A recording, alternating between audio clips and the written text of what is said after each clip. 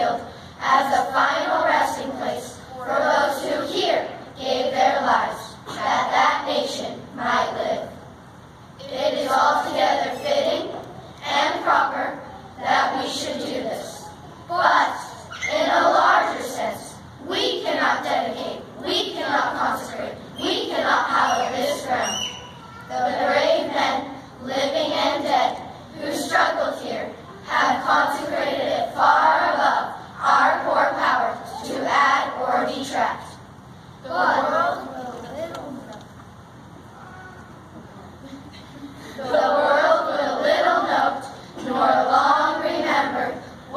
say here, but it can never forget what they did here.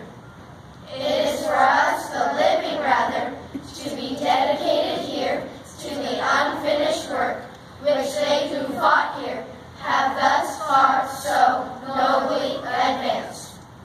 It is rather for us to be here dedicated to the great task remaining before us, that from these honored dead we take increased devotion to that cause for which they gave their last, full measure of devotion, that we here highly resolve that these dead shall not have died in vain, that this nation, under God, shall have a new birth of freedom, and that government of the people, by the people, for the people, shall not perish from the earth.